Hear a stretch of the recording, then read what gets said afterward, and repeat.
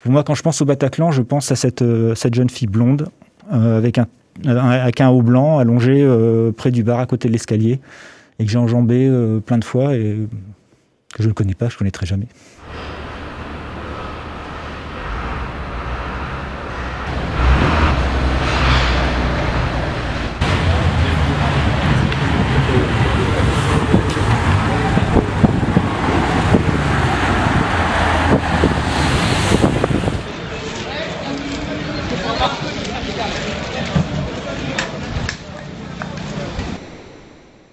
On arrive sur place, euh, on sait sur quoi, on sait à peu près ce qui s'est passé, mais on s'attend pas à, voilà, même autour du autour du Bataclan, vous avez des victimes qui sont qui ont déjà été sorties, qui sont allongées au sol, qui, qui sont blessées, qui crient. Vous avez des, des personnes qui sont décédées devant devant le Bataclan.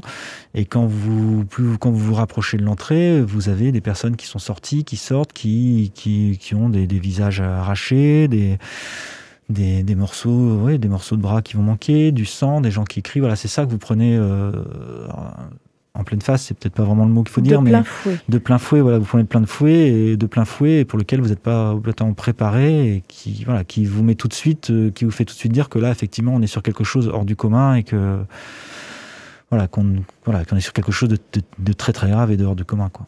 Quelle est la première image qui vous frappe?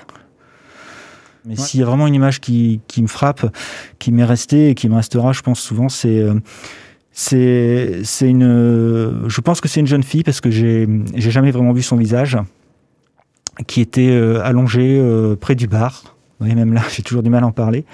Qui était allongée près du bar. Euh, j'ai jamais vu son visage parce qu'elle était allongée sur le ventre. Elle était décédée.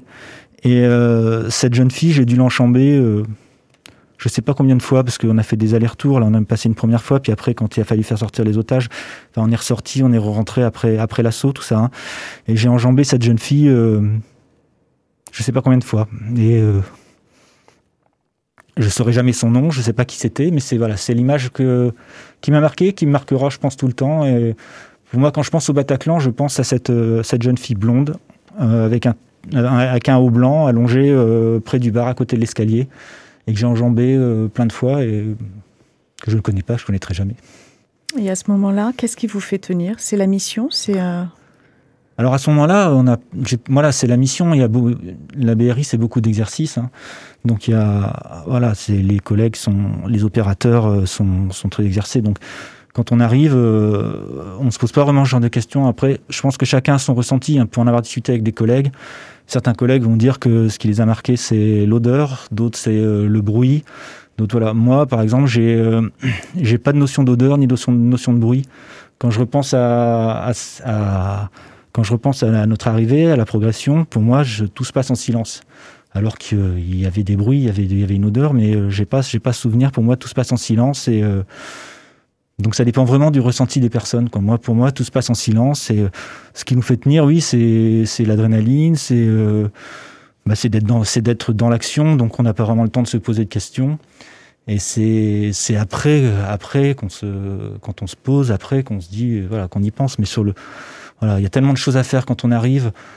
Euh, surtout pour euh, bon, moi j'étais chef de l'équipe technique, donc euh, quand je suis arrivé, il fallait dispatcher l'effectif, donner des missions quand on quand on rentre que l'assaut vient d'être donné euh, après voilà on se met en contact avec le le chef du, du groupe d'assaut. Il y a la progression pour retrouver euh, tous les otages pour euh, pour sécuriser les lieux etc etc donc on se pose pas vraiment les questions hein. c'est vraiment après qu'on qu réfléchit à ce qui s'est passé et qu'on revoit un peu ce qui s'est passé quoi. C'est important pour vous qu'il ait qu'il ait lieu ce procès? Ah, c'est important surtout pour les victimes les parents des victimes. Et puis oui c'est important pour oui c'est important hein. Qu'est-ce que vous en attendez? Qu'est-ce que j'en attends euh, La vérité, je pense. Enfin, on n'en saura vraiment jamais. Euh, non, j'en attends. Non, je ne saurais pas vous dire ce que j'en attends vraiment. Qu'est-ce que vous avez envie de dire aujourd'hui après, après cette épreuve? Moi, je voudrais que les gens, euh, je voudrais que les gens comprennent et, et rendre hommage au courage de, des, collègues de la colonne d'assaut, hein, dont je n'étais pas, hein, je précise, qui, euh, qui, qui, sont, qui sont rentrés, euh, qui sont rentrés, qui ont franchi cette porte en sachant que eh ben, peut-être ils reviendraient pas. Et euh, aucun, aucun, aucun d'entre eux n'a fait marche arrière, aucun d'entre eux n'a ralenti. Euh, là, quand ils sont rentrés, ils sont tous rentrés et euh, ouais, c'est quelque chose que moi je, je tiens à souligner parce qu'il faut un courage énorme et ce qu'ils ont fait, c'est énorme. Quoi.